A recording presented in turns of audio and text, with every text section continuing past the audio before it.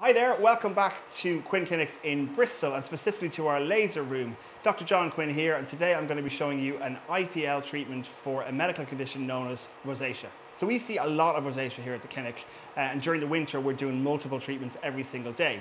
So when we're doing an IPL treatment we use a clear gel and that conducts the light into the skin and most patients say it feels quite nice, it's kind of cooling. Laser and, or IPL, specifically the Lumenis M22 IPL, is my go-to device when I'm treating flushing and redness and thread veins related to rosacea. So this is my Lumenis M22 IPL, and so IPL stands for intense pulsed light.